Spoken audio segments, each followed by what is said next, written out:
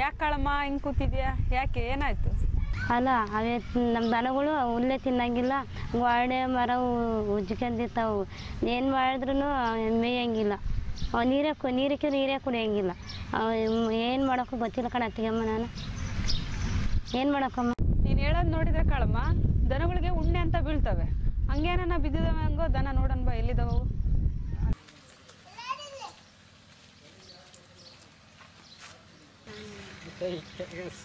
ನೋಡ್ಕಳಮ್ಮ, ಮಕ್ಕ ತುಂಬ ಉಣ್ಣೆನ ಮುಚ್ಕೊಂಡಿದಾವೆ. ಈ ತರ ಉಣ್ಣೆ ಇದ್ರೆ ಯಾಕೆ ಉಜ್ಜಬಾರ್ದು ಯಾಕೆ ಮೇವು ಬಿಡಬಾರ್ದು? ನೋಡು ಮುಖ ತುಂಬ ಒಂದು ಸ್ವಲ್ಪನೂ ಜಾಗ ಇಲ್ದಂಗೆ ಉಣ್ಣೆ ಹೆಂಗಿದಾವೆ. ಇವೇನೆ ಉಣ್ಣೆ ಅನ್ನೋದು?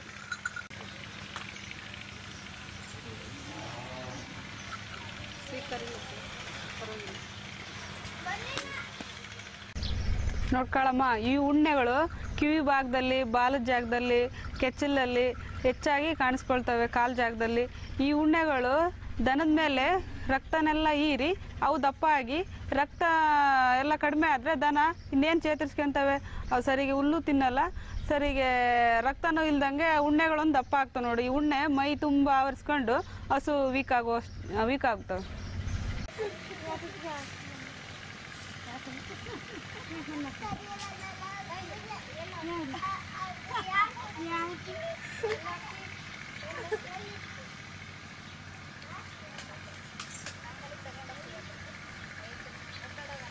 ನೋಡಿ, ನೋಡ್ತಾ ಇದ್ದೀರಲ್ಲ? ಈ ಥರ ಸಣ್ಣ ಉಣ್ಣೆಗಳು ದೊಡ್ಡವಾಗಿ, ಹಸುಗಳ ಮೇಲೆ ಎಲ್ಲ ಕುತ್ತು ರಕ್ತ ಹೀರಿ ದಪ್ಪ ಆಗ್ತವೆ. ಹಸು ಒಂದೇ ಅಲ್ಲ, ಮೇಕೆ, ಕುರಿ, ಎಲ್ಲದ್ರ ಮೇಲೆ ಕುತ್ತು ಇವು ರಕ್ತ ಹೀರಿ, ರಕ್ತ ಎಲ್ಲ ಹೀರಿದ ಮೇಲೆ ಇವು ದಪ್ಪ ಆಗ್ತವೆ. ಹಸುಗಳು ವೀಕ್ ಆಗಿ ಹೋಗ್ತವೆ.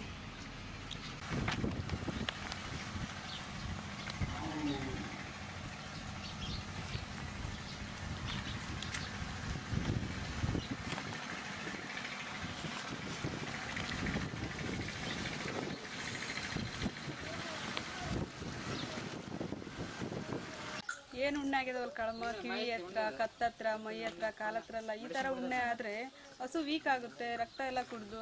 ಅದಕ್ಕೆ ನಮ್ಮ ಮನೆಯಲ್ಲೇ ಸಿಗುವಂಥ ಸಾಮಾನುಗಳು ಹಾಕಿ ನಾವು ಉಣ್ಣೆ ನಿಯಂತ್ರಣ ಮಾಡೋಕ್ಕೆ ನಾವೇ ತಯಾರು ಮಾಡ್ಕೋಬಹುದಲ್ಲ? ಔಷಧಿ ಮಾಡ್ಕೊಳ್ಳೋದು ಅದು ನನಗೆ ತೋರ್ಸಮ್ಮ. ಉಣ್ಣೆ ನಿಯಂತ್ರಣ ಮಾಡಲು ಬೇಕಾಗಿರುವ ಸಾಮಗ್ರಿಗಳು ಒಂದು ಟೀ ಗ್ಲಾಸ್ ಕೊಬ್ಬರಿ ಎಣ್ಣೆ ಕೊಬ್ಬರಿ ಎಣ್ಣೆ ಜೊತೆಗೆ ಹತ್ತು ಗ್ರಾಮ್ ಕರ್, ಕರ್ಪೂರ, ಎರಡರಿಂದ ಮೂರು. ಬೇಕಾಗುತ್ತೆ. ಕೊಬ್ಬರಿ ಎಣ್ಣೆ ಬಿಸಿ ಮಾಡಲು ಸ್ಟವ್ ಬೇಕಾಗುತ್ತೆ. ಗ್ಲಾಸ್ ಅಷ್ಟು ಇರುವ ಕೊಬ್ಬರಿ ಎಣ್ಣೆನ ಒಂದು ಬಟ್ಟಲ್ಲಿ ಹಾಕಿ ಬಿಸಿ ಮಾಡಬೇಕು.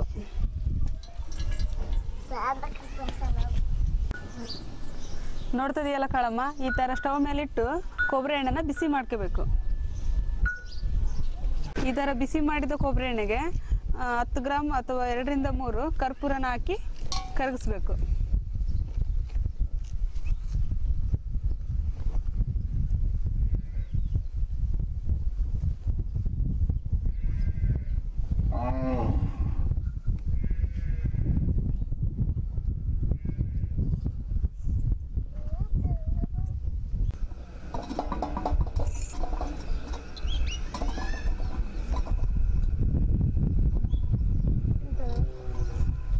ಬಿಸಿಯಾಗಿರೋದು ಎಣ್ಣೆನ ಕರ್ಪೂರ ಹಾಕಿ ಕರಗಿದ ಮೇಲೆ ಈ ಥರ ಹಾರಿಸ್ಕೋಬೇಕು.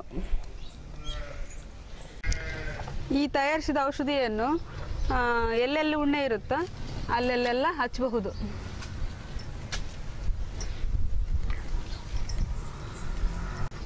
ಈ ಥರ ತಯಾರಿಸಿದ ಔಷಧಿಯನ್ನು ಎಲ್ಲೆಲ್ಲಿ ಉಣ್ಣೆ ಇರ್ತಾವೋ ಅಲ್ಲೆಲ್ಲ ಹಚ್ಚಬಹುದು ಈ ಥರ ತಿಂಗಳಿಗೆ ನಾಲ್ಕು ಸಾರಿ ಔಷಧಿ ತಯಾರಿಸಿ ಹಚ್ಚಬೇಕು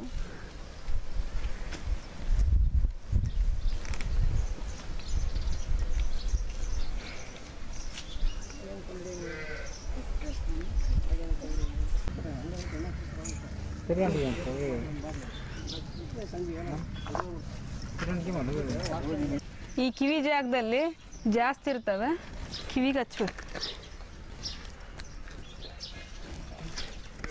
ಐ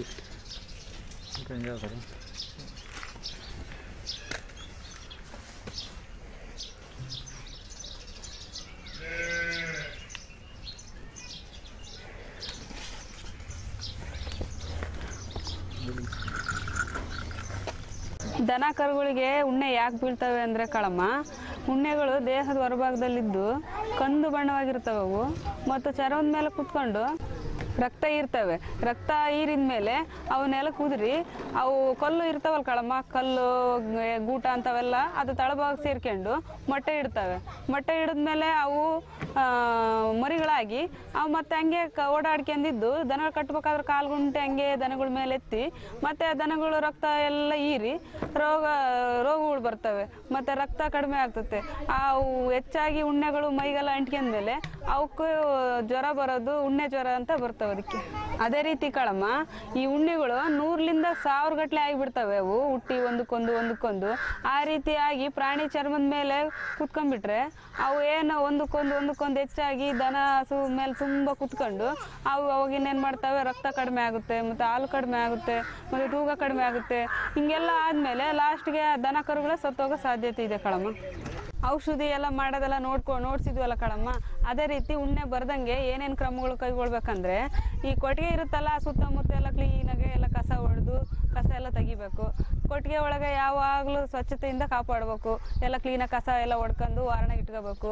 ಸುತ್ತಮುತ್ತ ತನ್ನ ಕಳೆ ಅಂತ ಗಿಡಗಳೆಲ್ಲ ಇರ್ತಾವಲ್ಲ, ಆ ಹುಲ್ಲೆಲ್ಲ ಕತ್ತರಿಸ್ಬೇಕು.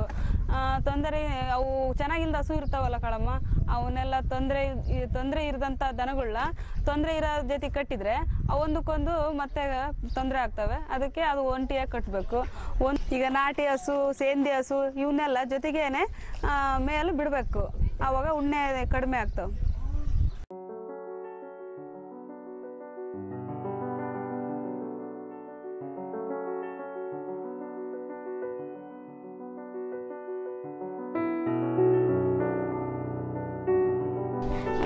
ಉಣ್ಣೆ ಹೋಗಿದ್ರೆ ಒಳ್ಳೆ ಮಾಯತೆ ಅಂದ್ರೆ ತಿಳಿಸ್ಕೊ ಇಟ್ಟಿದ್ಕವೆ ಧನ್ಯವಾದ ನಿನಗೆ